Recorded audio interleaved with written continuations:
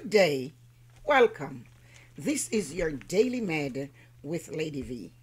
As we are talking about faith, we know Romans 10 17 tells us faith comes by hearing, and hearing the word of God, what God says. And when we hold to what God says, believe it with all our heart that it is true, the Bible says He will bring it to, pass and we have looked at uh, um, saving faith. Then we are looking at degrees of faith. And previously we talked about a little faith. And today we will talk about weak faith, as Romans 14, verse 1 uh, through 6 tells us that uh, there is also weak faith. But we want to strengthen or grow our faith by going to the storehouse, which is the word of God, to build our faith. So, Romans 14, verse 1 through 6, it says, Accept the one whose faith is weak without quarreling over disputable matters. One person's faith allowed them to eat anything but another whose faith is weak eats only vegetables. The one who eats everything must not treat with contempt the one who does not, and the one who does not eat everything must not judge the one who does. For God has accepted them. Who are you to judge someone else's servant? To their own master, servants stand or fall, and they will stand for the Lord is able to make them stand. One person considers one day more sacred than the other, another considers every day alike. Each of them should be fully convinced in their own mind. Whoever regards one day as special, do so to the Lord. Whoever eats meat does so to the Lord, for they give thanks to God and whoever abstain does so to the Lord and give thanks to God. So, what is the Apostle Paul saying to us as believers today concerning those that are of a weak faith? He says, Him that is weak in the faith, receive ye, but not to doubtful disputations. He says, Welcome such one into your fellowship, but let all controversies concerning doubtful practices be avoided. So, this chapter deals with important principles to guide God's people in dealing with matters of secondary importance. These are the things that so often cause conflict among believers, but such conflict is quite unnecessary, as we will see from the scriptures.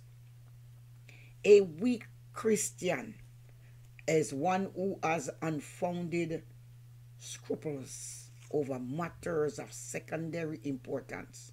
In this context, one might say, oh, well, I am converted and I belong to uh, this or I belong to that, but still all the scruple about uh, eating or drinking, whether it's kosher, whether it's uh, working, whether it's which day you worship the Lord, and on and on. But as we see there are some principles or some guidelines that the Apostle Paul gave. And we will look at a few of these principles. Principle number one a weak Christian should be received into the local fellowship, but not, you know, having this engagement of disputes about all kinds of unnecessariness. Christians can have happy fellowship without agreeing on the non-essentials. They are non-essentials because they are not essentials. Principle number two, there must be mutual forbearance. The mature believer must not despise the weak brother or sister. Neither should the weak brother or sister judge as a sinner someone who enjoys other foods or the other day which they worship. The Bible tells us God has received into his family as members in good standing. Principle number three is that each believer is a servant of the Lord and we have no right to sit in the seat of judgment as if we were the master. So before one can stand to approve or disapprove someone else or to even look down on another with condescension. We are only doing so to make a shipwreck of our own faith. Because in view of this matter, or whatever the matter is, whatsoever attitude one takes towards that matter of the non essential might not even be necessary and could be so possibly wrong. But the scripture tells us God will sustain those on both sides of the argument. His power is adequate for those with strong faith and for those that have weak faith.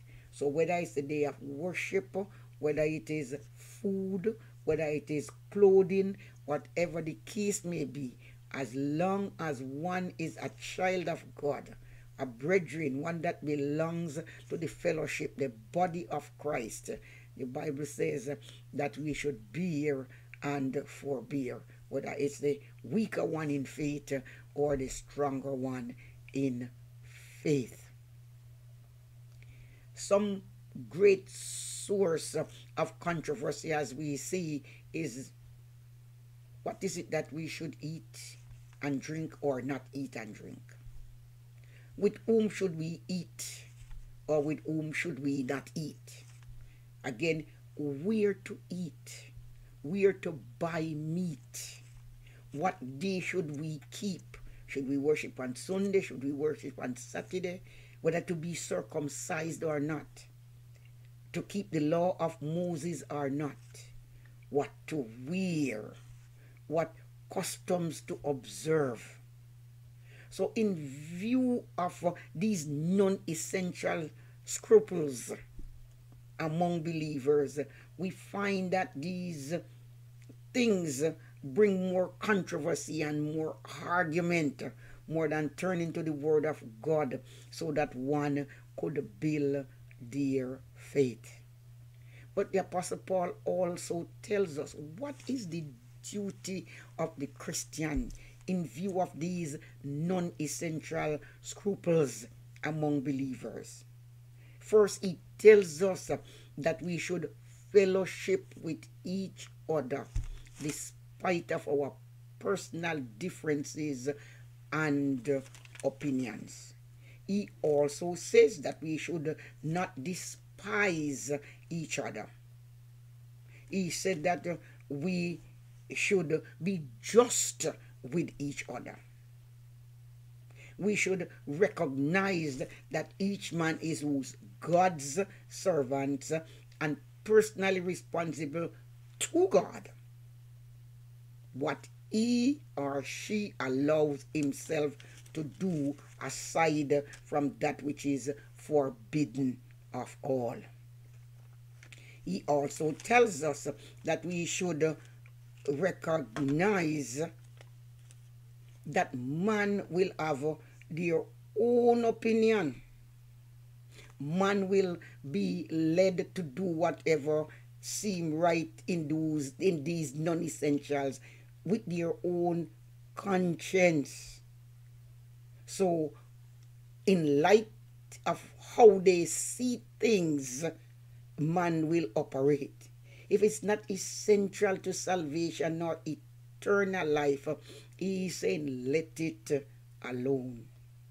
He says, judge no man as to the Sabbath that he keeps. Judge, judge none about allowable eats and drink. Let all live in peace for the Lord and for each other. He says, Do not set one another at naught, recognizing what? That each man shall give an account of himself to God. So he said, don't use all these things to cause disruption in the body of Christ. Do not cause anyone to stumble, he says. But we must demonstrate love by giving up those things that destroy others.